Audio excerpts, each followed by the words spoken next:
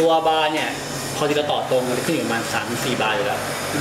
มันมีแรงกระบปลาเข้ามาช่วยอยู่แล้วอืมเวลากดชงมันถึงจะขึ้นมาแปดเก้าบาร์มันก็ม่อยๆขึ้นเลยมันก็แบบ